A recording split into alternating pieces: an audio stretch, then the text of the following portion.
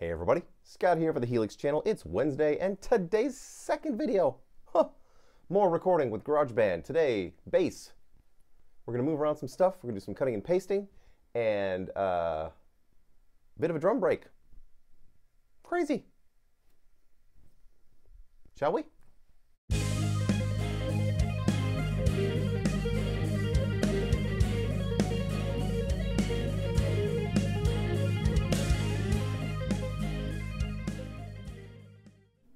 Here we are at the computer again.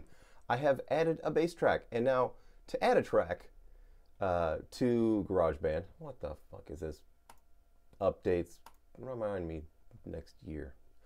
Okay, uh, to add a track, just go up to track, new track. Now, it'll give you some options. I always want to use recording a microphone, and that means using the Helix. I don't ever connect to use the uh, the GarageBand amps or the GarageBand keyboard stuff. I always go like this, blah, blah, blah. But this particular one, uh, I've already actually done it, so I don't need to add it. What I did is I went and hit new track with duplicate settings. And that's the same as all the other tracks. Then I moved it up here. And that's the bass. Now I'm going to solo the bass. And uh, here's what I ended up with, or here's what I made.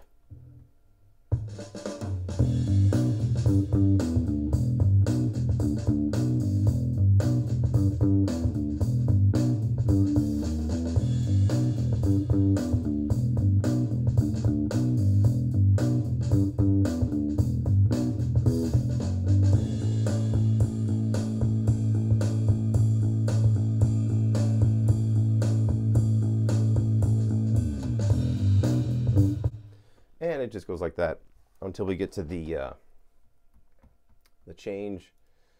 I guess you call it the bridge section which is this bit uh, right here. And if we uh, listen to everything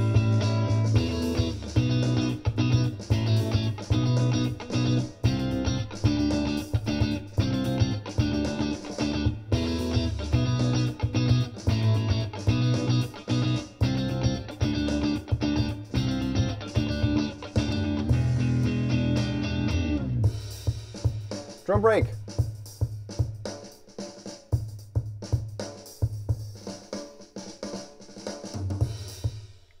I'm actually going to leave the drum break in there. I normally would not do that. But it's a pretty funky beat, and Benny's on fire today. So, uh, what I'm going to do is we're going to copy and paste some guitar parts and some bass parts because I've already recorded them. They already sound good. And this is something that uh, Joe Satriani taught me. I was recording up in Sausalito at, at the the plant where Satriani made a bunch of his records from the late 80s on. Maybe even the mid 80s. He might have done Surfing with the Alien there, I'm not sure.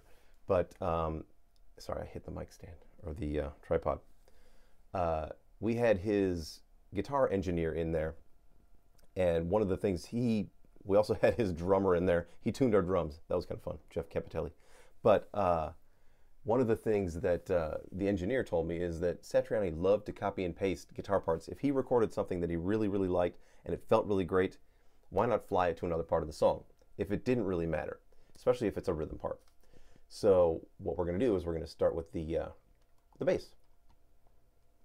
So to copy and paste a bass part, and I did that all the way through, just uh, Command C, highlight that particular track, Command C, then go to where you want it to go, want it to live. I want it to live right here.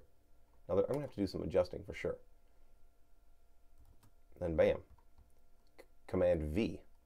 Now, we're going to have to uh, check its, yeah, see, it uh, doesn't exactly line up, but we'll just move it. See how it lines up.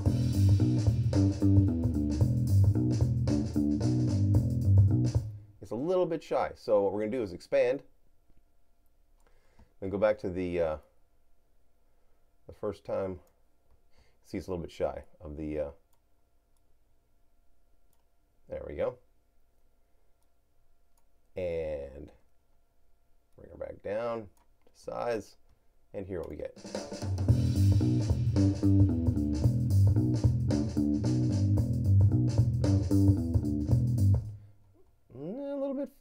Ahead of the beat in some spots. So let's expand it again. Move it a hair to the right. And then give her a listen.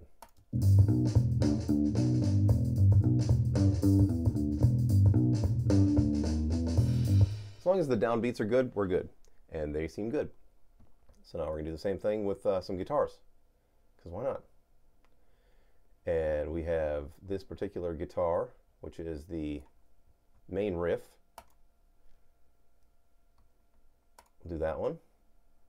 Command C. Blah, blah, blah.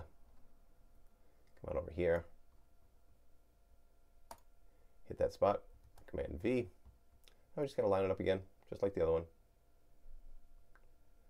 This one did all of the, uh, as long as I highlighted the entire track and not just one of the, uh, one of the sections like this, highlighting the track from the left hand side highlights all the bits. So I get them all the way up until uh, the breakdown.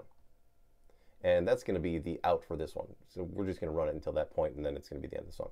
So we'll just go back over here, do our little quick lineup. Oh, why are you not moving? Okay, butthole, it's your deal? Oh, I see.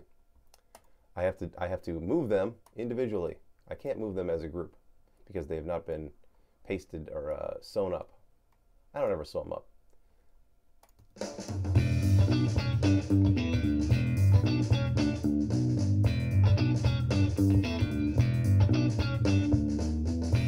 There you go. So now we just need to line up the uh, these other bits. Got to have uh, hit them individually, and those will line up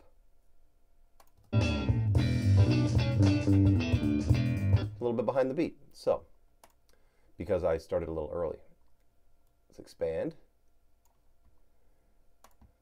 Make sure that this one's the only one highlighted, and push it forward a little bit. So, you know, this is just a fun thing to do.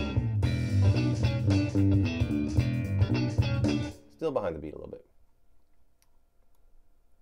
I don't want to be that behind the beat. I don't want to be that uh, that funky.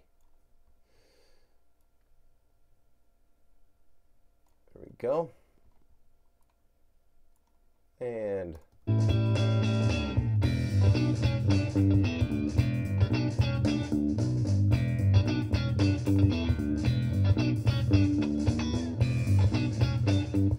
I'll do some fine tuning to it in my own time.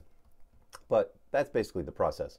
I'm going to cut and paste all the rest of the pieces, move them over until they all line up. And then uh, tomorrow, we're going to do overdub guitar parts, uh, maybe another rhythm track, and then uh, some lead bits. So, come on back for that. I don't know if there's anything else I can show you uh, about the bass, except for, you know, the way I tweak the, uh, the EQ. Now, what I do for the bass, when it's by itself, you can hear it.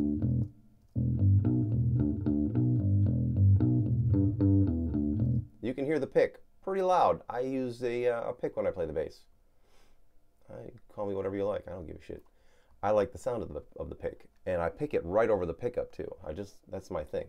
But then I don't leave the clickiness in there. What I'll do, turn on the EQ here, pull down some mids and some highs, give it a little ambience and a tiny hair of reverb, believe it or not.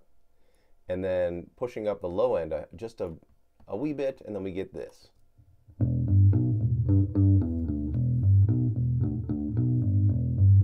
Opposed to this, which is, you know, less clicky. And when you play it along with the drums,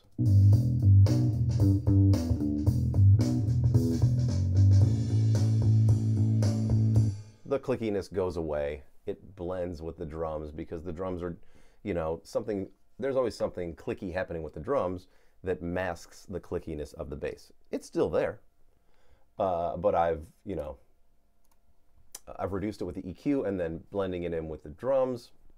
It's all good. there you go, everybody. More GarageBand fun. And uh, tomorrow, we're going to lay down uh, the final bits of rhythm guitar and some lead action, figure out what to do over the top of this mess. And then uh, Friday, we'll mix it. Which means, for me, the mixing process includes cleaning up the tracks, uh, adding any kind of post effects, you know, writing the uh, the volume levels of the individual tracks, making sure everything's in a good spot uh, spatially, you know, panned left, right, whatever, and then uh, you know, then the uh, overall levels. Good stuff. So I will see you uh, tomorrow with some some of that. That's all I can say about that. And hopefully uh, the new amp will show up tomorrow. It was potentially going to be here tomorrow. Mo- it'll be here definitely Friday morning, but hopefully tomorrow. I'll see you then.